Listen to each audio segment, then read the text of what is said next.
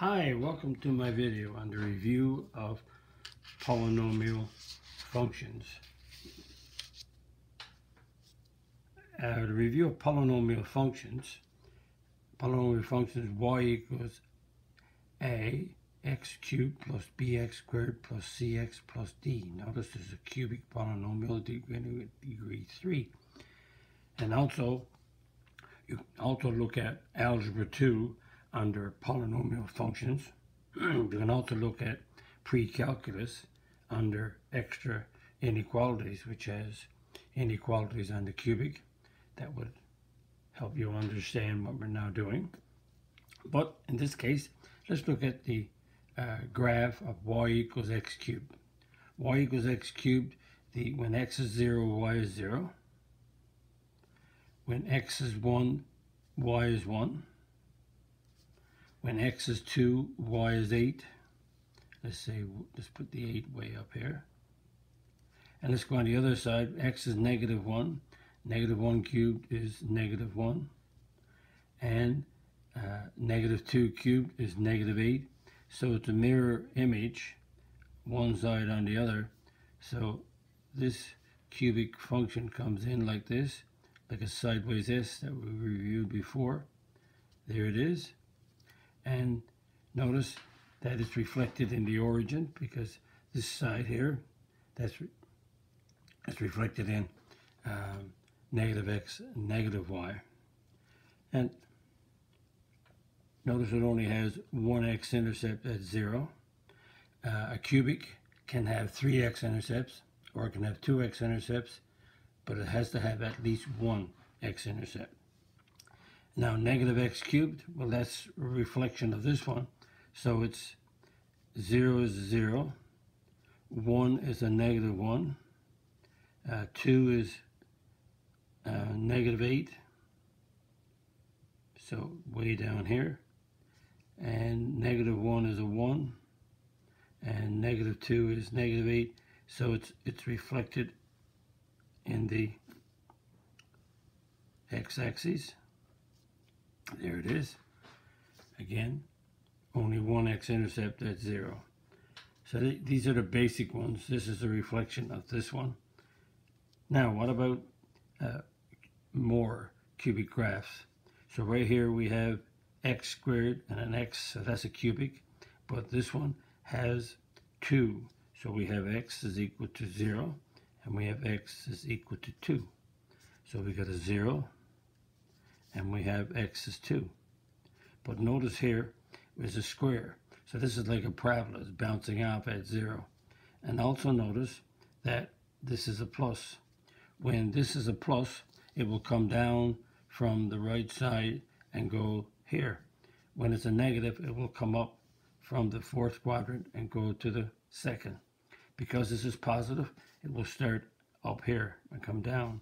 So we have 2 and 0. So it's starting here because it's positive.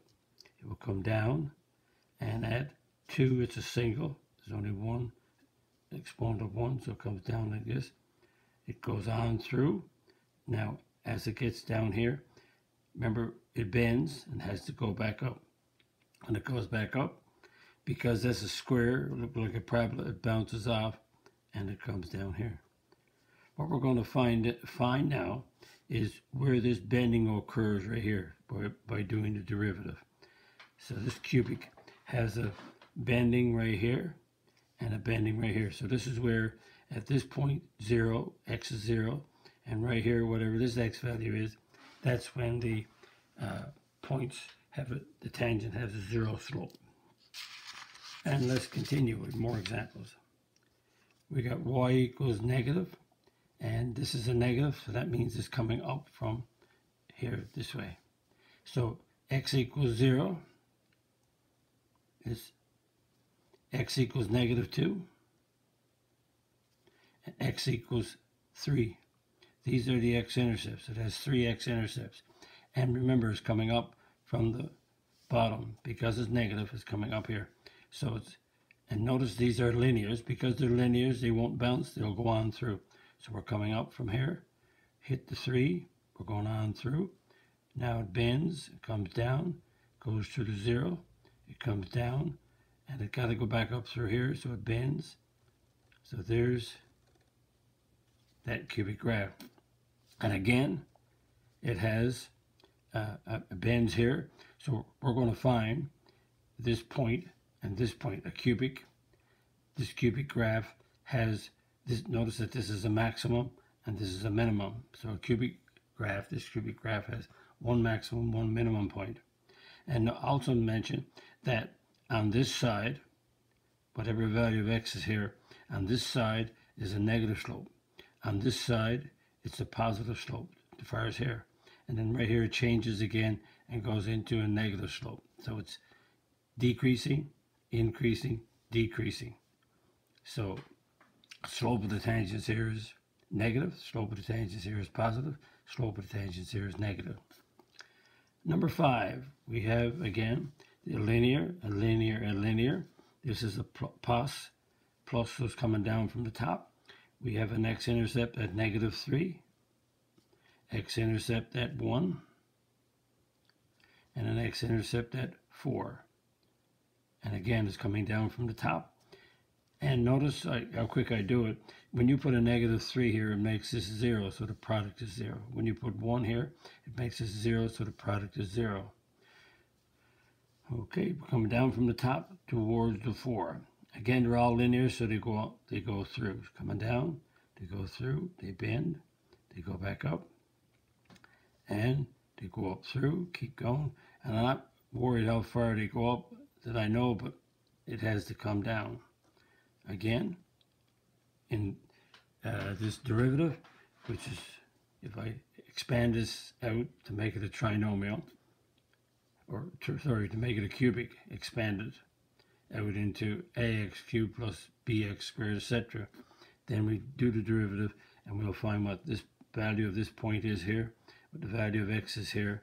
That'll give us the values, that'll give us these points where the bending occurs. So again, notice that this is the minimum, this is the maximum. Slope on this side is positive, slope here is negative, slope here is positive. So that's increasing, decreasing, increasing.